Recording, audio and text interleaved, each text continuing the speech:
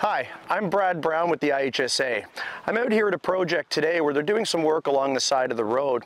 Now when we look at injuries that happen to workers on construction projects, a lot of them happen when workers work along the side of the road or they work with equipment. So when we look at setting up traffic protection and traffic control plans for the workers in the work area, and we want to make sure that it does three really key things. It allows the workers to work safely and that they're protected from vehicles and equipment, that it allows the motorists to pass through safely, and to make sure that the motorists can keep moving so that they can still flow through the area.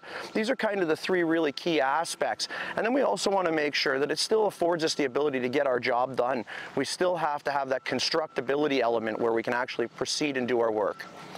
With the site that we're looking at and the site that we're working at today, we see that they've actually chosen the right layout from Book 7 and they're using it appropriately. And what Book 7 helps us to do is to comply with the law where it says that we have to use as many devices as necessary for the protection of the workers.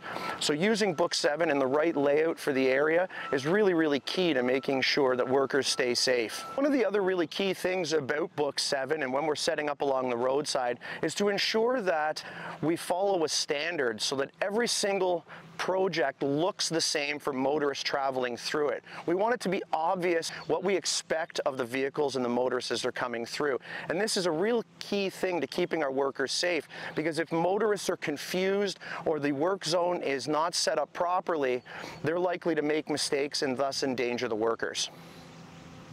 Thank you very much for listening to our talk. Please visit our website at www.ihsa.ca and subscribe to our YouTube channel for more safety talks.